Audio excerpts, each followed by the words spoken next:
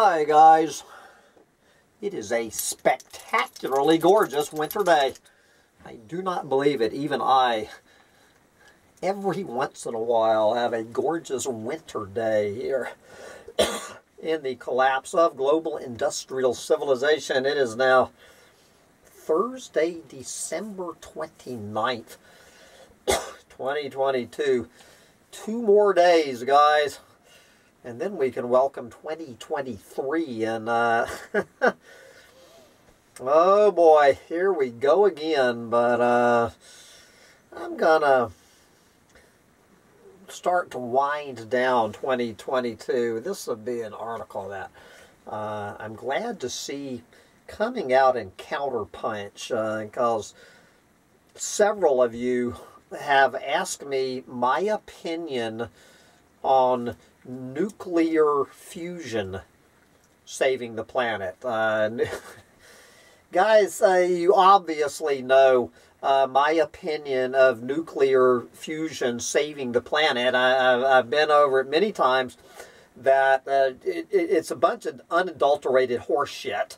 And on the hair thin chance that it actually did supply a, you know, a truly uh, bottomless well of clean, green, free energy, the planet would be destroyed a lot quicker than it's being destroyed by by fossil fuels. Uh, but you know, guys, I can't claim that that I'm some expert in nuclear fusion. It's I just lump it in, and all the rest of this crap uh, but finally, I found a, a good article from those little lefties over there at Counterpunch. You know, these guys at Counterpunch kind of confuse me sometime.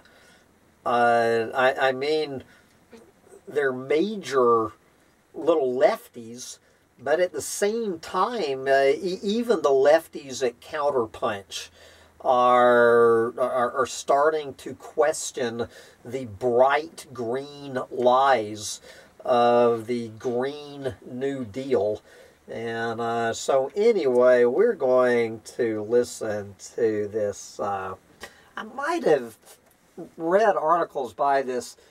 Yeah, I have. I, I've read the, several articles over the years by this fellow named Brian Tokar. Brian Tokar has written several books about uh, about climate change and all the rest of uh, how we are or are not uh, going to fix this uh, fix this mess.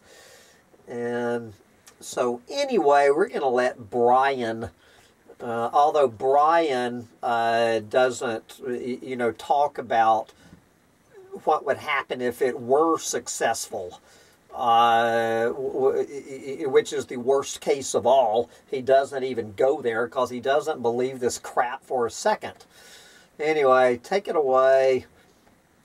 Brian Tokar, nuclear fusion, don't believe the hype.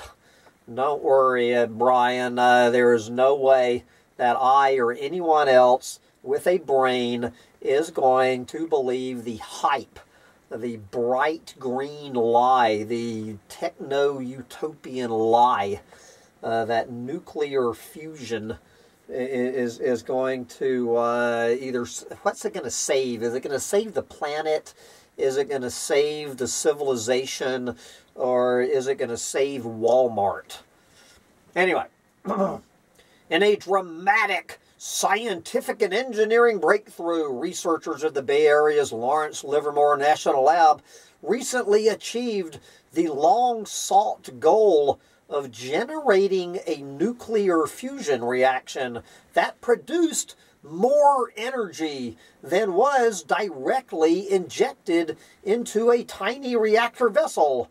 By the very next day, pundits well across the political spectrum were touting that breakthrough is a harbinger of a new era in energy production, suggesting a future of limitless, low impact fusion energy was perhaps a few decades away, uh, was perhaps a few decades away. In reality, however, commercially viable nuclear fusion is only infinitesimally closer than it was back in the 1980s when a contained fusion reaction was first achieved. There you go. So, uh, you know, and, and I, when I read this crap, I, I was thinking, haven't we read this story before that they've actually already done this? And uh, they've been doing this since the 1980s. They have uh, pushed the envelope, you know, one nano inch to the uh, edge of the table here. While most honest writers have at least acknowledged the obstacles to commercially scaled fusion, they typically still underestimate them as much so today as back in the 1980s. We are told that a fusion reaction would have to occur many times per second to produce usable amounts of energy. But the blast of energy from the LLNL fusion react, reactor actually only lasted one tenth of one nanosecond. That is a 10 billionth of one second. Apparently, other fusion reactions with a net energy loss have operated for a few nanoseconds, but reproducing this reaction over a billion times every second is far beyond what researchers are even contemplating. We are told that the reactor produced about one and a half times the amount of energy that was input. But this only counts the laser energy that actually struck the reactor vessel. That energy, which is necessary to generate temperatures over 100 million degrees, was the product of an array of 192 high-powered lasers, which required well over 100 times as much energy to operate. Third, we are told that nuclear fusion will someday free up vast areas of land that are currently needed to operate solar and wind power installations. But the entire facility needed to house the 192 lasers and all the other necessary control equipment was large enough to contain three football fields, even though the actual fusion reaction takes place in a gold or diamond vessel smaller than a pea. All this just to generate the equivalent of about 10 to 20 minutes of energy that is used by a typical small home. Clearly, even the most inexpensive rooftop solar system can already do far more. And Professor Mark Jacobson's group at Stanford University has calculated that a total conversion to wind, water, and solar power might use about as much land as is currently occupied by the world's fossil fuel infrastructure.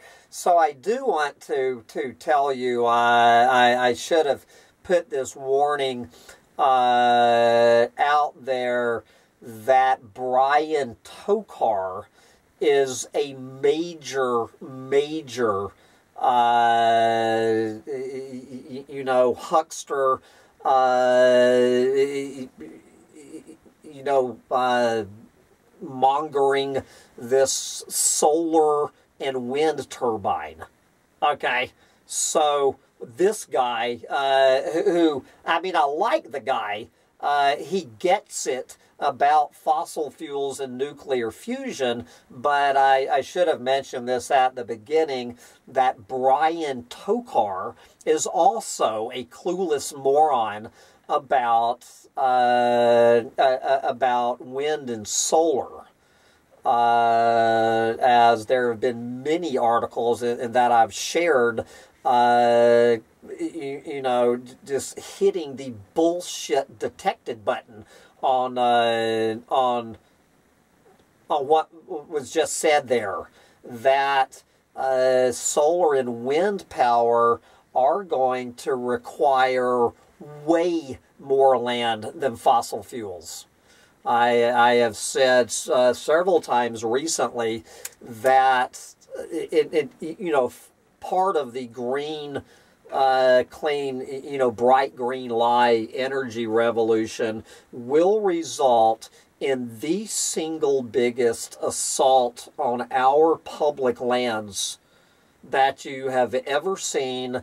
It will leave the acreage towards fossil fuel. De- Hell, I, I bet if you added up fossil fuel development, you, you know, oil drilling and fracking, you, you added that to cattle grazing and logging, uh, that uh, what, what's getting ready to happen to our public lands, but because of this bullshit that this clueless moron, uh, whatever this dude's name is, uh, you know, now that I think about it, I, I, wish I'd never started this article.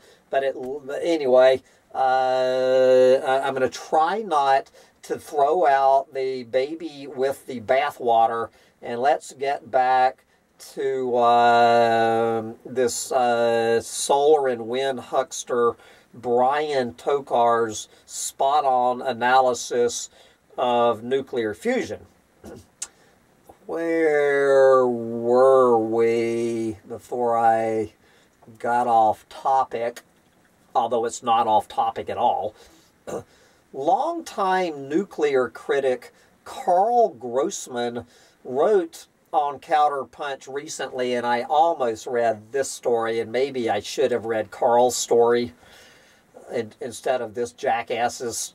Anyway, uh, longtime nuclear critic Karl Grossman wrote on Counterpunch recently of the many likely obstacles to scaling up fusion reactors, even in principle, including high radioactivity rapid corrosion of equipment, excessive water demands for cooling, and the likely breakdown of components that would need to operate at unfathomably high temperatures and pressures.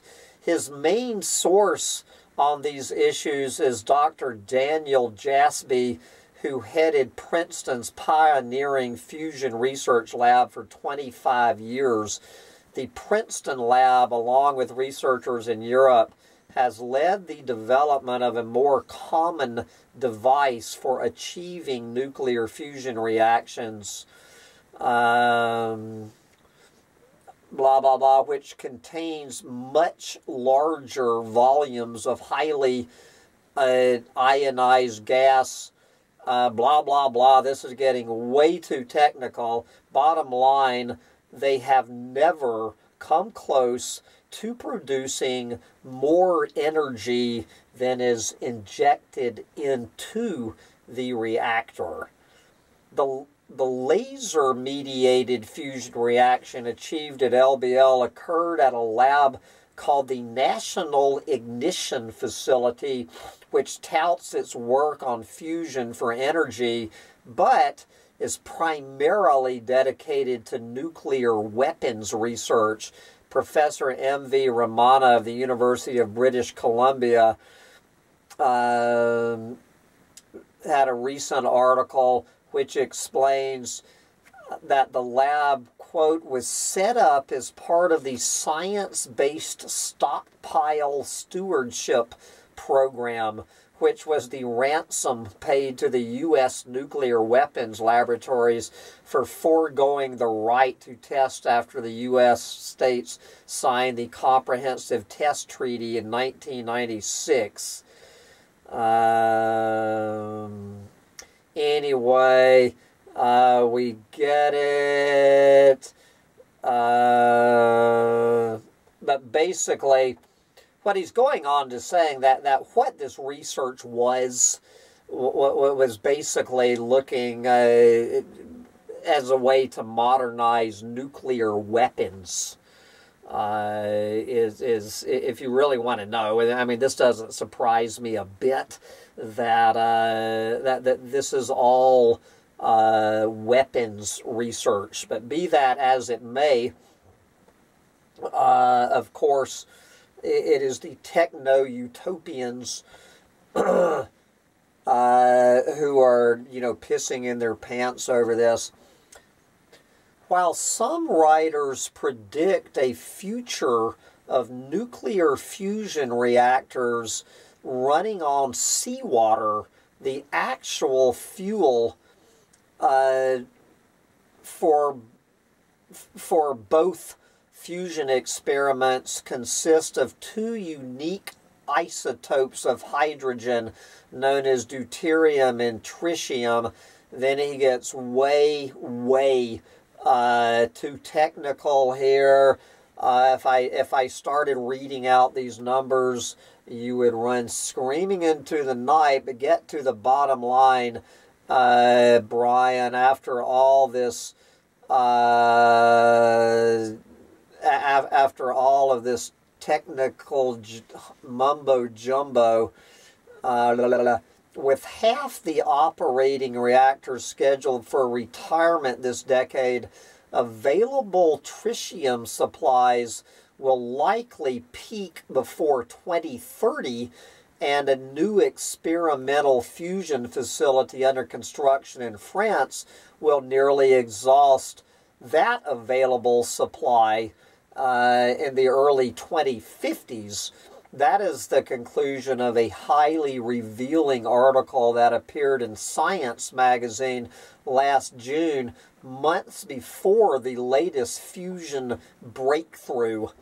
While the Princeton lab has made some progress toward potentially recycling tritium, fusion researchers remain highly dependent on rapidly diminishing supplies. Uh, alternative fuels are you know are, are being looked at, but these require temperatures up to a billion degrees to trigger a fusion reaction. Uh, and this other idea uh, also significantly increases the radioactivity of the entire process.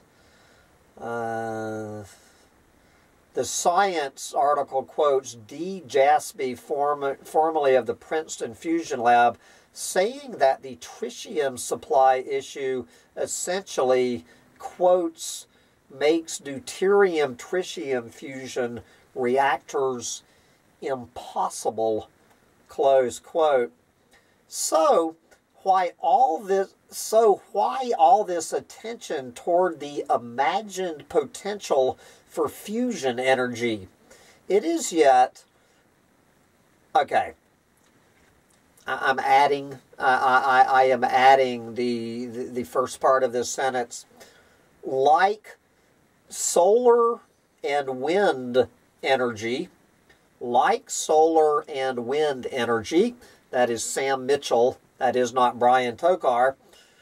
So, why all this attention toward the imagined potential for fusion energy? Like solar and wind energy, fusion is yet another attempt by those who believe that only a mega scaled technology intensive approach can be a viable alternative to our current fossil fuel dependent energy infrastructure. Some of the same interests continued to, pr- to promote the false claims that a new generation of nuclear fusion reactors will solve the persistent problems with nuclear power or that massive scale capture and burial of carbon dioxide from fossil fueled power plants will make it possible to perpetuate the fossil based economy far into the future. It is beyond the scope of this article to systematically address those claims, but it is clear that today's promises for a new generation of advanced reactors is not much different from what we were hearing back in the 1980s, 90s, or early 2000s. Nuclear whistleblower Arnie Gundersen. He's a good guy, Arnie Gundersen. Uh, I did I ever interview Arnie? I, I honestly can't remember if I ever interviewed Arnie or not. I, I know that I invited him. Anyway, nuclear whistleblower Arnie Gundersen has systematically exposed the flaws in the new reactor design currently favored by Bill Gates explaining that the underlying sodium cooled technology is the same as in the reactor that, quote, almost lost Detroit due to a partial meltdown back in 1966 and has repeatedly caused problems in Tennessee, France, and Japan. France's nuclear energy infrastructure which has long been touted as a model for the future, is increasingly plagued by equipment problems, massive cost overruns, and some sources of cooling water no longer being cool enough due to rising global temperatures. An attempt to export French nuclear technology to Finland took more than 20 years longer than anticipated at many times the original estimated cost. Uh, as for carbon capture, we know that countless highly subsidized carbon capture experiments have failed, and that the vast majority of the CO2 currently captured from power plants is used for enhanced oil recovery, meaning increasing the efficiency of existing oil wells. The pipelines that would be needed to actually collect CO2 and bury it underground would be comparable to the entire current infrastructure for piping oil and gas, and the notion of permanent burial will likely prove to be a pipe dream. And then, of course, uh, Brian Tokar just goes off on, uh, you know, selling his solar and wind snake oil. Uh, good Lord, I'm not going to embarrass my uh, intelligence or yours, uh, but even at the end, even Brian Tokar, who is one of the biggest cheerleaders of the bright green lie of solar and wind, has to uh, have a little bit of a caveat. At the same time, awareness is growing about the increasing reliance of renewable technology including advanced batteries on minerals extracted from indigenous lands in the global south. Thus, a meaningfully just energy transi- transition needs to both be fully renewable and also reject the myths of perpetual growth that emerged from the fossil fuel era. In, if the end of the fossil fuel era portends the end of capitalist growth in all its forms, it is clear that all of life on Earth will ultimately be the beneficiary. Yes, well, mainly because, uh, and I don't know if Brian is aware of this, is that the end of the fossil fuel era means that at least one half of the population on the planet will starve to death in one growing season. And uh, the population of the planet uh, will, uh, it, it, you know, be cut in half, and any pretense at global industrial civilization will go out the window. Uh, because global industrial civilization, not to mention an unsustainable population of 8 billion cancers, uh, is 100% dependent on fossil fuels. Anyway, uh, I'm going to wrap this up and uh, I've got to start packing tomorrow. I am heading out of Bugs in a Jar Farm tomorrow. I'm hoping I will have time for my weekly ecological meltdown roundup rant uh, for our final trip to mongabay.com tomorrow before I get out of here. And before we say Happy New Year 2023 in three days, bye guys.